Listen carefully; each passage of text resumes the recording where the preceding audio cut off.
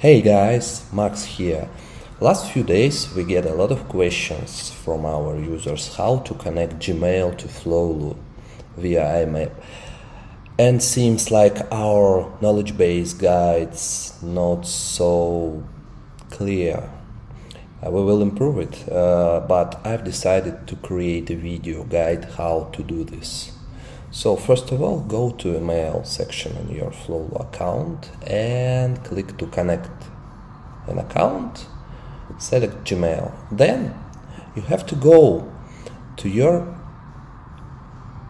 Google account preferences. Click to your avatar, manage your Google account, and then go to the security tab. Here Find signing, signing in to Google and select two-step verification.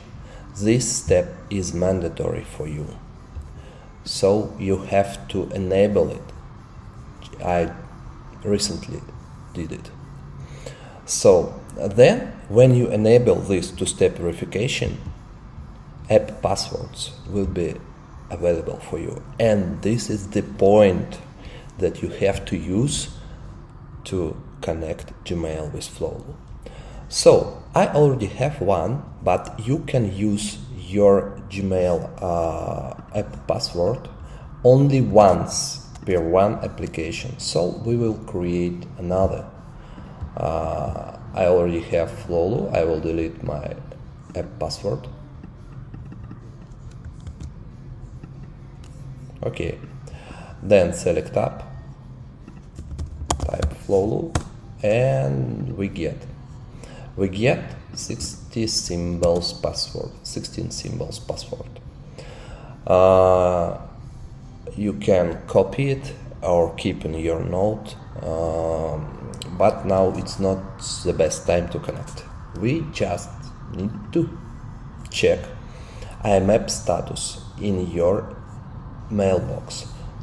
Go to the settings of your Gmail, then click to enable IMAP, ah, then go to the forwarding pop-up IMAP tab, then click to enable IMAP, and then save changes.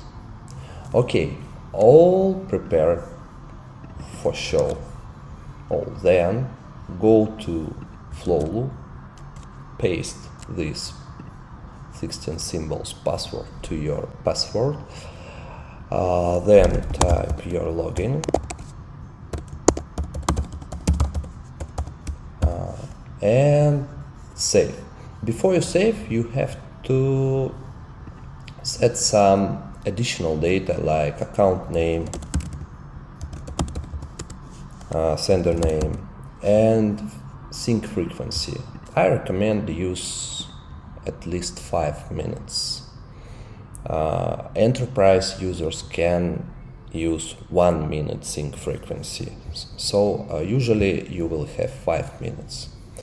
Uh, you can learn more about this feature in our knowledge base this, that always available uh, from right and top of the screen uh, under question sign, question icon. You just you can you can access a full knowledge base or related articles. So let's save our gmail connection.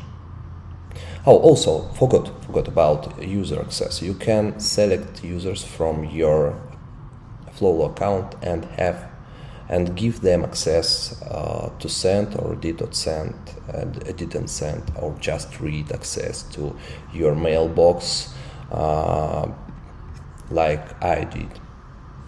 So let's save.